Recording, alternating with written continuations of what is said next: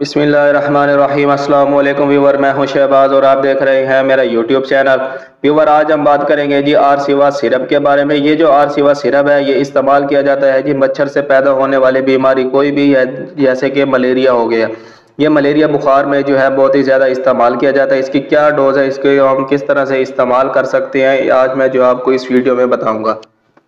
ये जो are syrup है, अगर आपको यानी कि सर्दी लगती है, यानी कि अगर आपके बच्चे को बुखार है या सर्दी लगती है, या थकावट है, या उसके सर में दर्द रहता है, या पट्ठों में दर्द रहता है, या फिर जो है बुखार के साथ साथ मतली भी आती है तो आप जो है आर सीवा सिरप इस्तेमाल कर सकते हैं।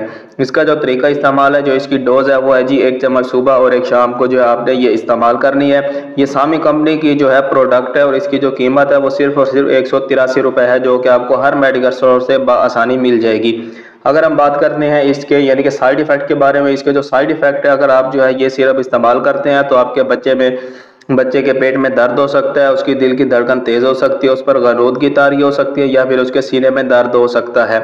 इसके अलावा जो है, अगर आपके बच्चे को पहले उल्टी नहीं थी तो आपने ये सिरप पिलाया तो आपके बच्चे को उल्टी लग गई है तो इस सूरत में भी आपने आर सी व सिरप इस्तेमाल नहीं करना।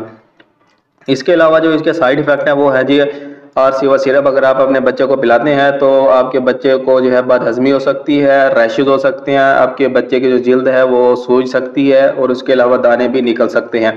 इस सूरत में जो आपने आर सिवा सिरप को इस्तेमाल नहीं करवाना, डॉक्टर से चेकअप करवाना है या फिर जो है मुझे कमेंट लाजमी करना है।